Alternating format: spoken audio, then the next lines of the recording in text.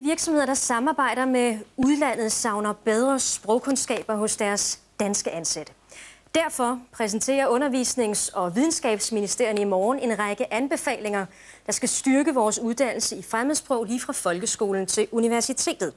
Eksempelvis skal alle videregående uddannelser tilbyde sprog som valgfag til de studerende. Og det glæder man sig over hos virksomheden Lodam i Sønderborg, hvor man kæmper en daglig kamp med sprog. Hej Alexei. Det at tale flere fremmedsprog er hverdag i firmaet Lodam. Just a second. Just a second. Det er Christian.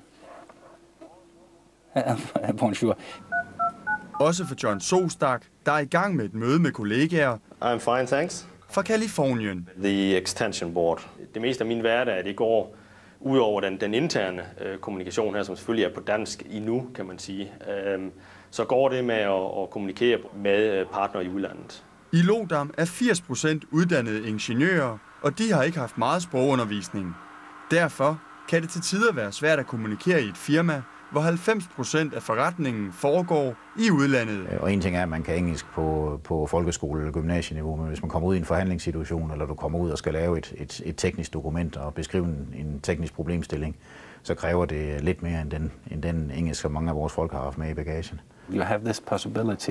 Videnskabs- og Undervisningsministeriet kommer i morgen med anbefalinger, der skal hjælpe med, at danskere i erhvervslivet kan begå sig i hele verden fremover. I wonder how that worked. Noget Christian Strand bakker op.